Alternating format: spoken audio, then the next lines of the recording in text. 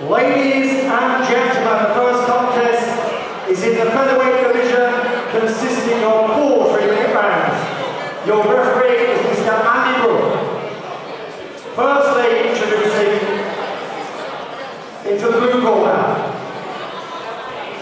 Today's scale, 8 stone, 12 pounds and 9 ounces, wearing the blue and white shorts, taking part in his third professional fight tonight, from Alfreton in Derbyshire, letting from Myron, Patrick! And his opponent in the red corner, making his professional debut tonight, at today's scale, 8 stone, 13 pounds of 2 ounces, wearing the white, green and gold shorts, originally from Oxford and now residing